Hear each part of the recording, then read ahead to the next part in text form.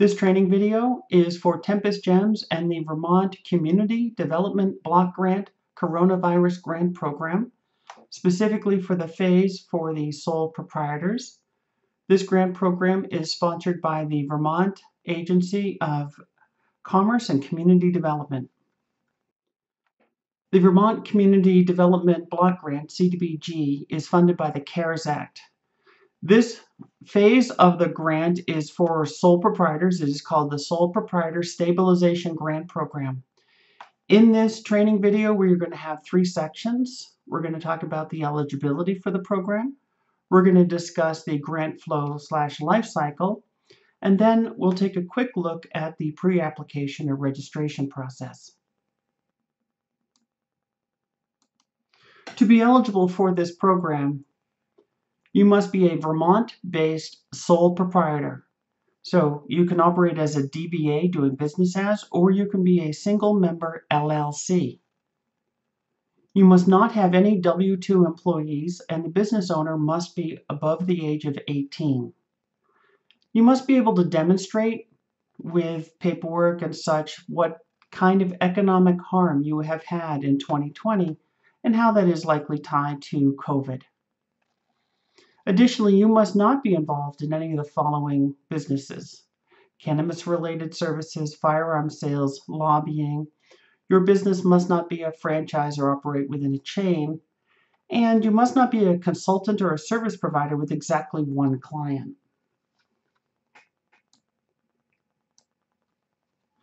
The life cycle for this grant program involves some preparation. First, you will need to apply for a DUNS number and Vermont ACCD and Storm Petrel have provided a video on how to do that.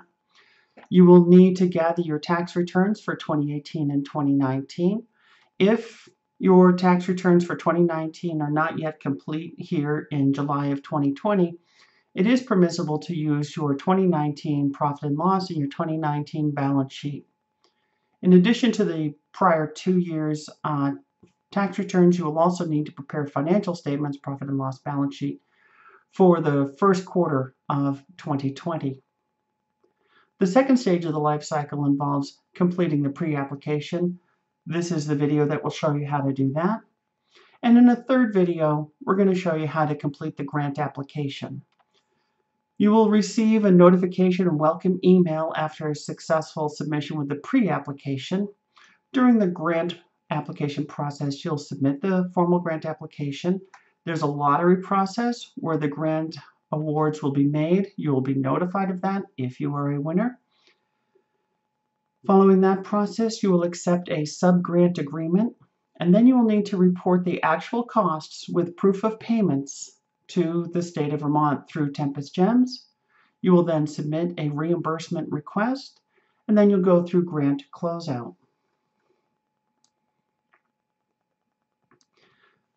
The documents that you will need throughout this process involve the following. For the DUNS number, you will need two official documents with your name and address on them, such as a lease, a bank statement, a utility bill, something along those lines.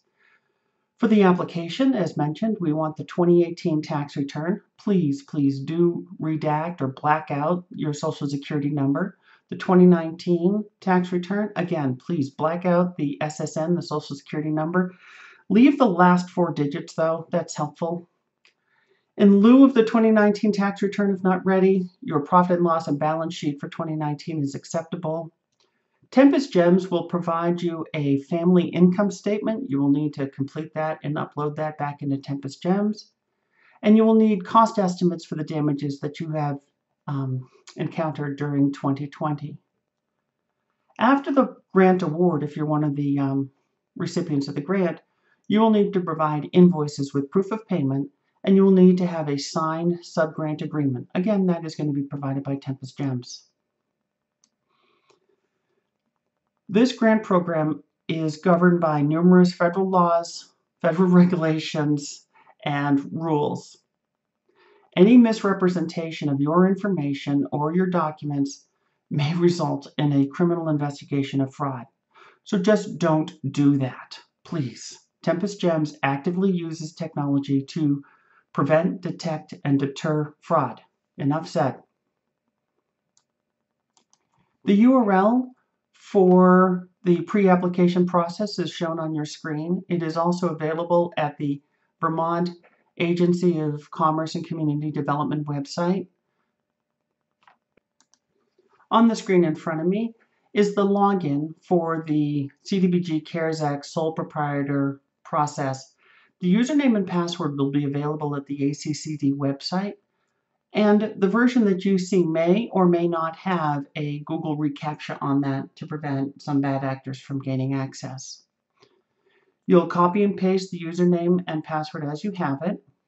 That'll take you into the grant uh, pre-application.